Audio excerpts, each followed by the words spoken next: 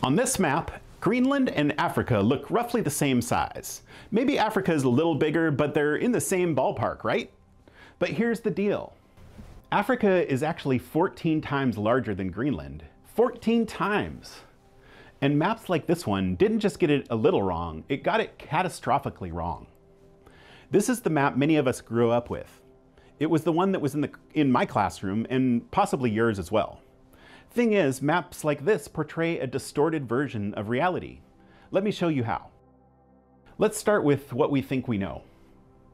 This is the Mercator projection, probably the most common world map of all time. And on this map, certain things look off, but you might not have noticed because at this point, this is just what a world map looks like to many of us. Greenland looks massive.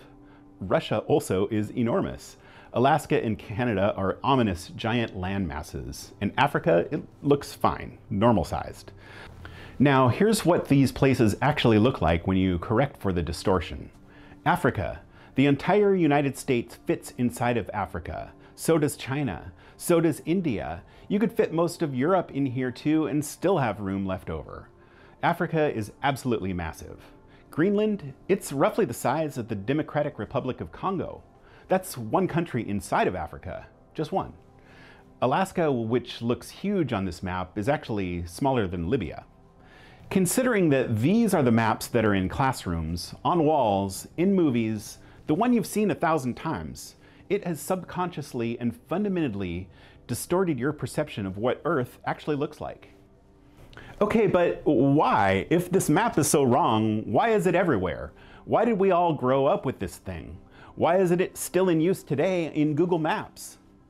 Here's the thing, the Mercator projection wasn't designed to teach geography. It was designed in 1569 by a Flemish cartographer named Gerardus Mercator, and it was made for one very specific purpose, ocean navigation.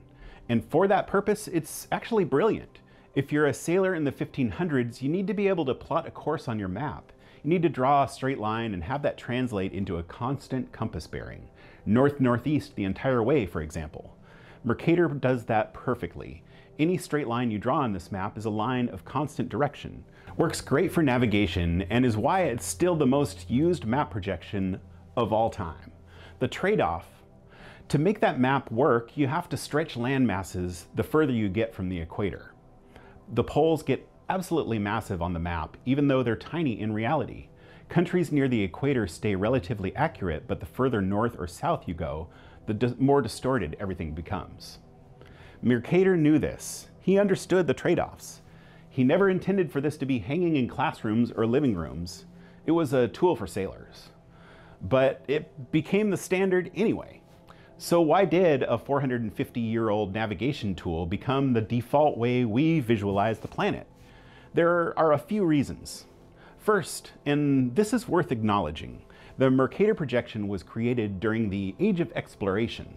European powers were colonizing the world, building empires. And on this map, Europe looks pretty impressive. Britain, which is actually smaller than the state of Oregon, looks massive and imposing. Scandinavia looks huge. Meanwhile, Africa, which is bigger than all of North America, looks rather compact and manageable. Was this intentional? Probably not at first, but it is worth noting which version of the world stuck around for centuries. Second reason, it just became normal. Once Mercator was the standard, it became what a world map looked like in people's minds. Straight edges, Greenland big, Antarctica stretched across the bottom. Everything else kind of looked weird or looked wrong. And third, practically speaking, Mercator is easy to work with. It's a rectangle, easy to print, easy to hang on the wall, fits nicely in a textbook or a frame. A lot of the alternative projections are ovals or interrupted shapes that are just harder to deal with. But here's the problem. We stopped using paper charts for navigation decades ago. We have GPS now. We have satellites. We have digital maps that recalculate in real time. Yet this 450-year-old sailor's tool is still the default way most people picture Earth. And I think that matters. So what's the alternative? Well, there are actually dozens of different map projections out there. And here's the thing about map projections. You can't have it all. You're taking a sphere and flattening it onto a rectangle. Something has to give. So every projection makes trade-offs. There's still no such thing as a completely accurate flat world map. This is the Gall-Peters projection, also called an equal area projection. This one prioritizes accurate size. Every country is shown at its true relative area. Africa looks huge on this map because it is. Greenland looks small because it is. The trade-off? Shapes get distorted, especially near the equator. Countries look stretched vertically. It's a little weird to look at if you're used to Mercator. This is the Robinson projection. It's a compromise, a little bit of distortion everywhere, but nothing too extreme. It's not perfect for size, not perfect for shape, not perfect for anything really, but it's good at everything.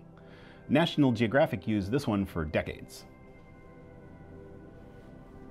This is the Winkel Tripel, another compromise projection that tries to minimize distortion of size, shape, and distance all at once. This is what National Geographic uses now. And there are even more experimental ones, like the AuthaGraph, which tries to unfold the globe like origami. Still pretty niche, but interesting. So which one should you actually have on your wall? Here's what I think. If you're going to have a world map in your home, and obviously I think you should, it should at least show you what the world actually looks like. I sell maps for a living, so I've spent a lot of time thinking about this. And my recommendation Get an equal area projection or a Robinson projection, something that prioritizes accuracy over historical convention.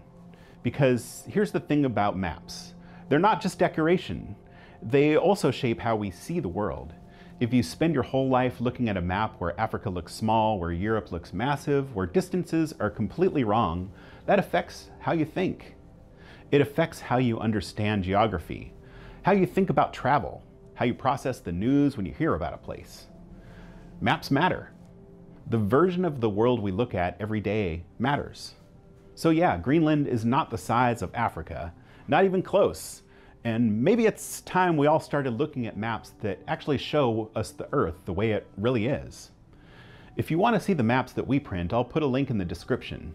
And if you learned something today, let me know in the comments. What surprised you most? Did you already know about this? I'm curious. Thanks for watching.